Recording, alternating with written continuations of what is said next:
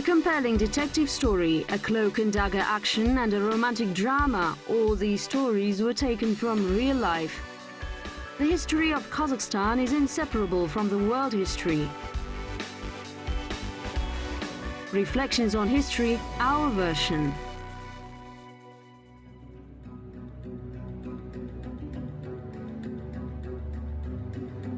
The Last Word. A White Guard lieutenant was detained on the border in 1926. He was a member of the Sokol underground organization, the Falcons, which was operating in the Pavlodar region of Kazakhstan. He'd been to sent to Paris to establish relations with the underground immigrant groups there. There was a real threat of war with France in 1927. The Russians' combined arms union was active in France. It had a strict hierarchy and was ready to start preparations for military action any time. All it needed was arms. It was determined that the lieutenant had met White Guard leader Annenkov twice. Then the idea to use the information about the Pavlodar resistance and dispatch their person to the people who were around the Ataman formed. Chekist Likharin became the lieutenant's substitute because they looked alike. Say your name. I'm Boris Annenkov. Their aim was to find and destroy. It was 1920. The Civil War came to an end. The Bolsheviks triumphed, but the white emigrant movement remained active too. Thus, a decision to eliminate the White Guard leaders was made. As a result, Ataman Dutov was killed in the Chinese city Shuiding which was their first successful operation. However, first they had planned to catch him and bring him to trial.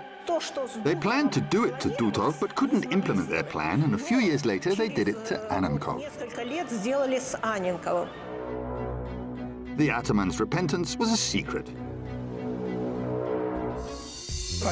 Annenkov didn't take the Soviet side voluntarily.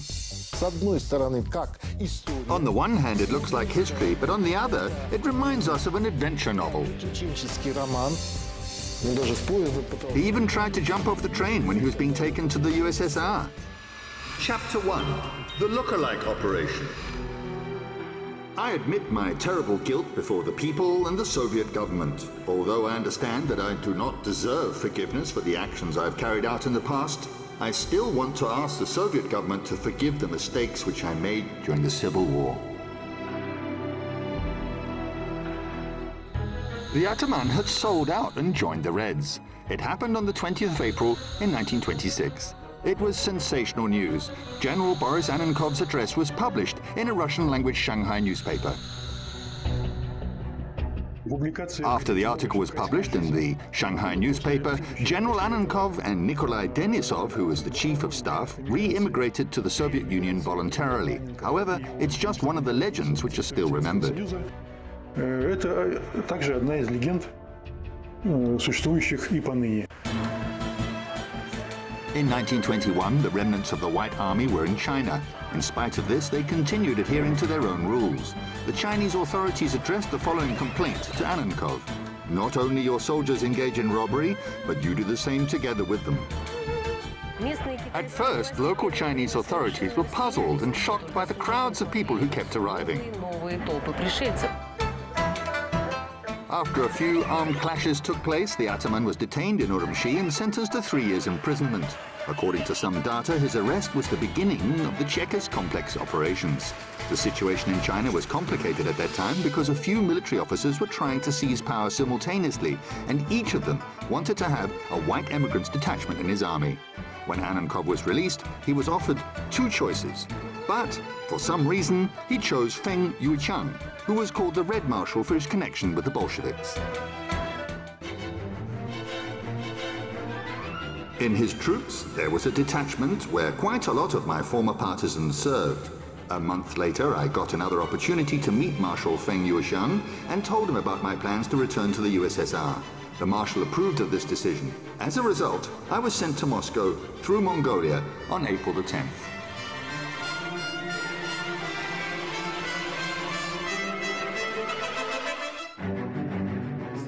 Annenkov was writing these lines while waiting for sentence. It is said that there were Soviet agents in that white detachment of the Red Marshal.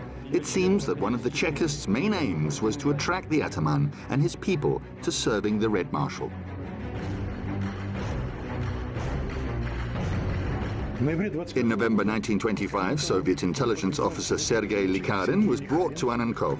Likharin pretended that he was a White Guard lieutenant having English journalist documents. The person who led Sergei Likharin to Annenkov was Chekashin, one of the former officers of Annenkov's convoy. Annenkov really trusted him.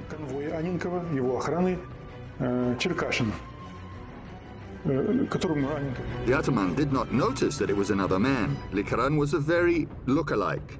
However, it's unknown what part he played in the Ataman's life. Likharin and Chekashin offered Annenkov a very interesting opportunity to show his worth as a commander and join the Chinese army.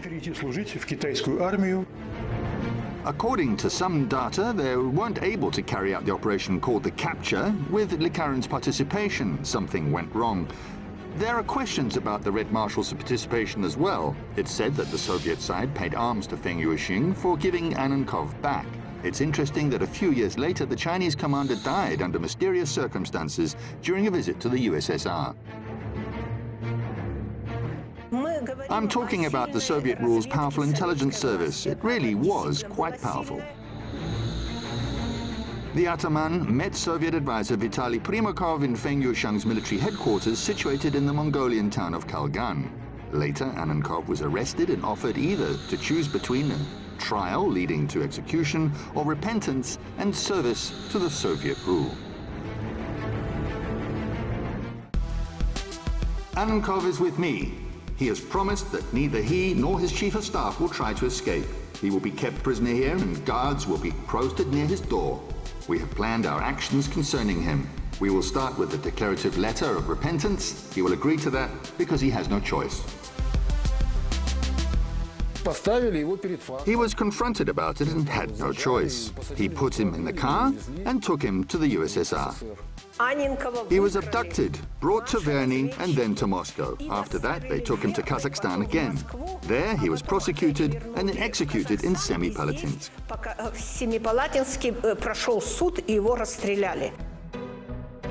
It's unclear whether he agreed to cooperate with them or not. On the way to Moscow, the Ataman made an attempt to escape. He wrapped a towel around his hand, broke a window in a toilet, but didn't have time to actually jump off the train. Well, the People's Commissariat for Internal Affairs didn't work well. There's different information according to which nobody captured Annenkov, and if he had wanted, he could have escaped from Kalgan without any problems. He went horse riding in the countryside, visited Japanese consulate, and met Japanese geishas. He never made attempts to run away. Chapter 2 The Trial. Скажите, Аненков, Annenkov, tell me where you and your detachment arrived in Semipalatinsk. It was in early October. It's modern Semipalatinsk. This place isn't far away from the old prison. Анненков в этой тюрьме? Was Annenkov imprisoned here? Нет, это No, he wasn't. Uh, this prison was for everyone. As for him, he was kept in the inner prison of the People's Commissariat for Internal Affairs. Now there's the Palace of Youth in its place. The building where that historical process took place didn't remain either. The Circuit Court of the Military Collegium of the Supreme Court started its prosecution against Ataman Boris Annenkov and the Chief of Staff Denisov in the Lunacharsky Drama Theatre at 5 o'clock on the evening of the 25th of July 1927.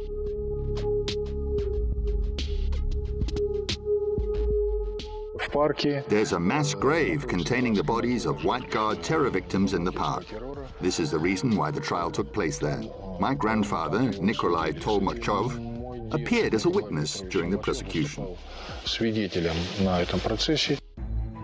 The White Guard detachment attacked a village, drove people into a large yurt and killed all of them with sabres. Similarly, horrific and vicious murders were committed in Bolachu village. It went down in history as Kuruk Uikara, which meant 40 mournful houses.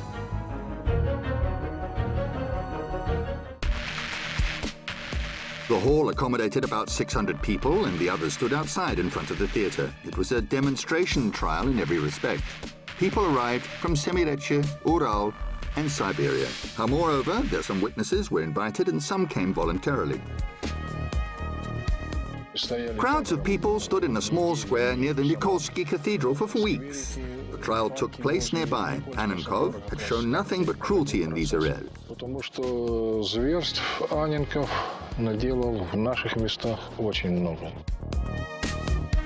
Both real and fabricated statements were made during the trial. Annenkov admitted committing some of them and denied committing the others. I understand that no mercy can be shown to me because of the struggle I was engaged in previously. I had courage to side with Soviet rule and did not resist being brought to justice. I'm leaving as a criminal who has repented and want to think that I will not be under a curse when I will leave. They used bloody terror against people, and as a result, they suffered from it themselves. In the end, they could see only a dire future.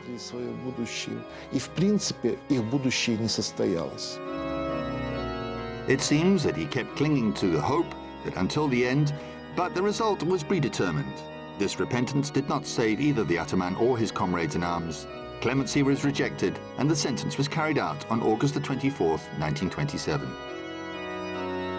There was no firing squad holding guns, and nobody commanded the word fire. There wasn't anything like that. A commandant just shot him. по врагу народов, пли и так далее. Ничего не было. Его просто этот комендант застрелил. Камера была, в которой они All of them were kept in a prison cell. Then a person shot him in the head. That was all. They shot Denisov in the same way. However, the story of the bloody Ataman did not finish there. A bit later, another lookalike appeared. Chapter 3 Conquering the Dragon. This pagoda is situated on top of the Red Mountain. It is called Conquering the Dragon. It is conquering the dragon or strangling the Hydra of the world's counter-revolution. A legend has it that Annenkov's lookalike was shot in Semipalatinsk and the Ataman was killed later.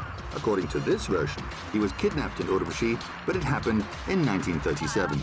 Strange reminiscences have remained.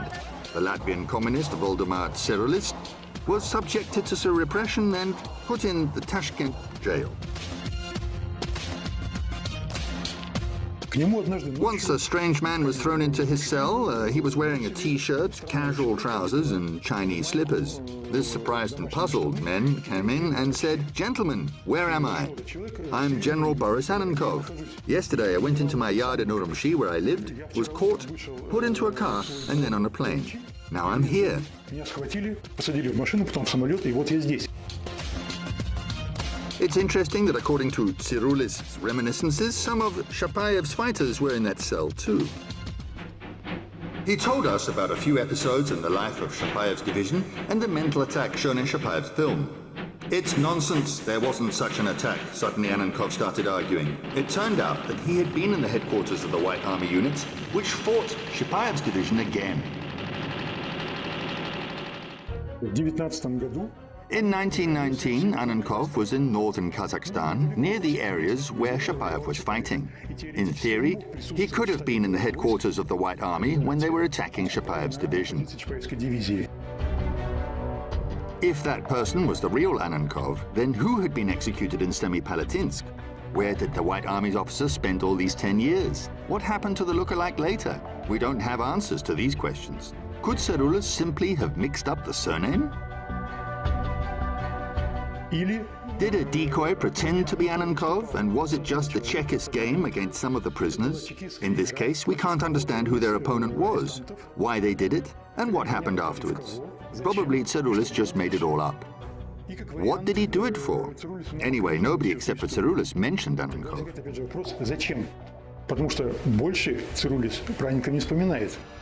Epilogue. A strange story. Annenkov was not arrested or captured. No acts of violence were committed against him either. This detective story is just fiction. If he'd been captured, the information about this achievement of the Soviet intelligence service would have been published in foreign newspapers, and it would have been mentioned during the Semipalatinsk trial itself. They made a decision to return on their own. However, the Chekists influenced this decision too. What kind of influence was it? What did they promise the Ataman, and how did they convince him? What for did they need this look-alike? Why did the trial take place in Semipalatinsk but not in Moscow, Omsk or Almaty? The whole operation related to Amenenkov's return seemed quite strange. There were too many complications and questions. In addition, the majority of Czechs taking part in it were executed in the late 1930s.